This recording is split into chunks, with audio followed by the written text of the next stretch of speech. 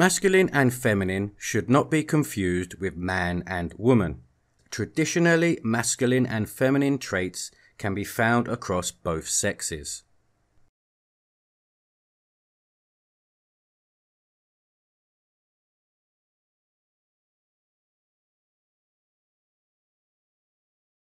In masculine cultures, hierarchies are based on competition, competence, and productivity.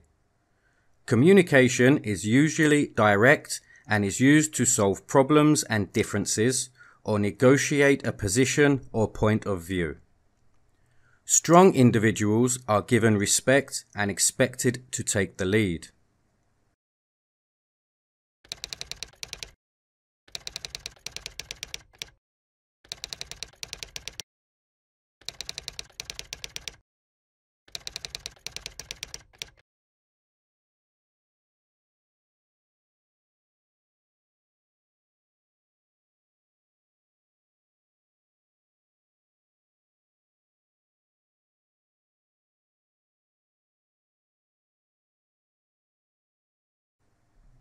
In feminine cultures, the focus is on compromise and cooperation. Communication is less direct and more inclusive.